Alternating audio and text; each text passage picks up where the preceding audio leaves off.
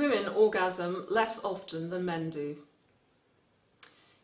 Alfred Kinsey interviewed over 5,000 women and he calculated that women orgasm on average once every two weeks, regardless of age.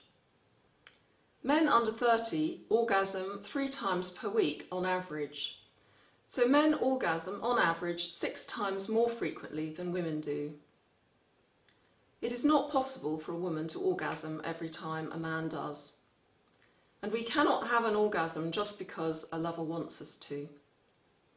It is not logical to assume that women only orgasm when their lover does, but also that they orgasm every single time and at no other time.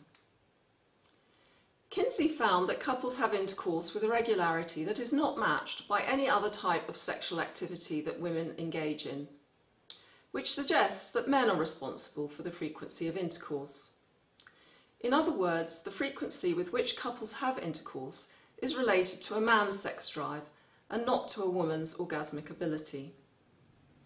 Men initiate sex because they do need to be aroused in order to have intercourse, whereas women do not need to be aroused to have intercourse. So in conclusion, we think that a man should be able to stimulate a woman to orgasm through intercourse, but there is no research to support this assumption.